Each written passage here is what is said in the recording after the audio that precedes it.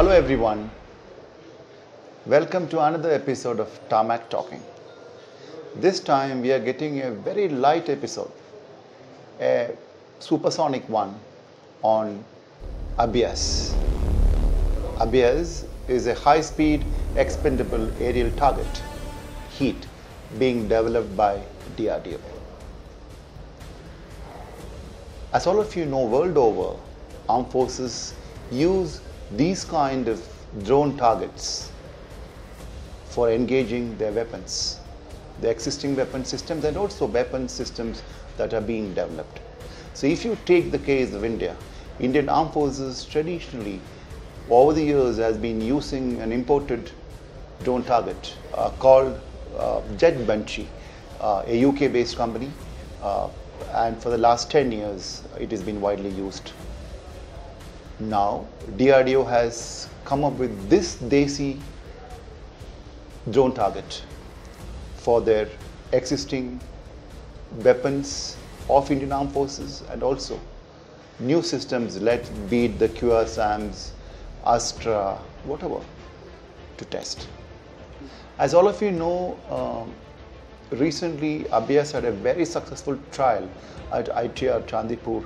It flew for roughly around 32 minutes and uh, 20 uh, waypoint navigation points it is crossed and very very different patterns uh, you know apparently uh, it has exhibited during that particular trial there are different kinds of uh, patterns uh, the race course pattern and there is a, a pattern of eight and uh, so apparently the this race course pattern is very popular and uh, you could engage your weapons during one of these patterns.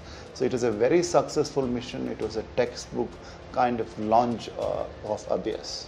Next interesting point I would want to emphasize on Abhyas is from 2013, it is in 2013 that this program uh, took birth and just around 5-6 uh, DRDO scientists were part of it a lot of quiet work, a lot of hard work, a lot of challenges have gone over the years. So in the last four, five years, the biggest challenge for the scientists were to miniaturize a lot of systems on Abhyas. It was a huge challenge. They have successfully come out of it. Uh, you know, everything on this particular thing had to be miniaturized. Roughly, Abhyas, you know, weighs around 70 kg.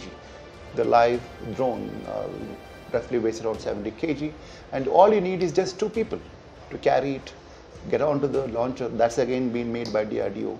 If you look at the system, uh, the engine is just around 2 kgs, you know, and uh, um, you know even the horizontal and the vertical tails, what you see at the behind, is just around again 200 grams. I'm being told.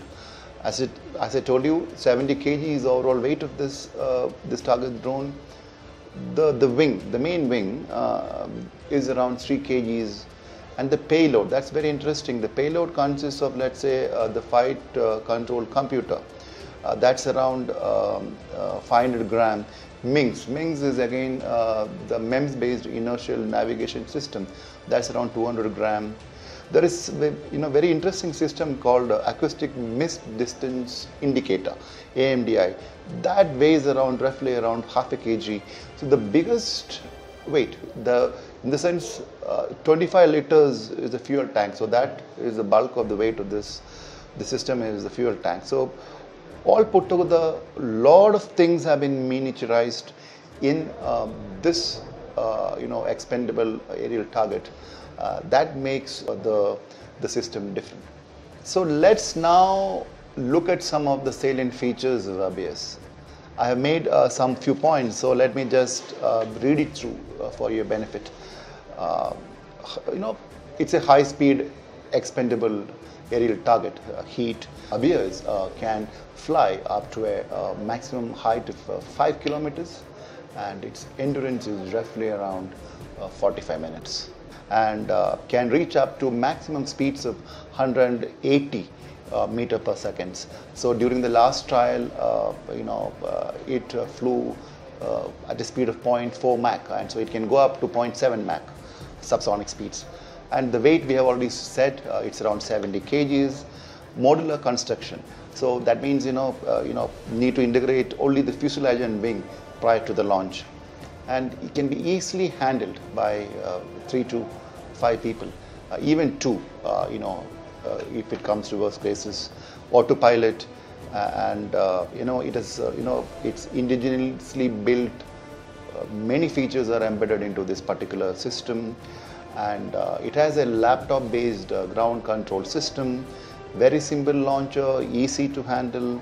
It also has the potential to be converted into a decoy and it has got a MEMS based uh, navigation system. These are the roughly some of the features of Abhyas. So finally, um, what's the road ahead for this Desi uh, drone target?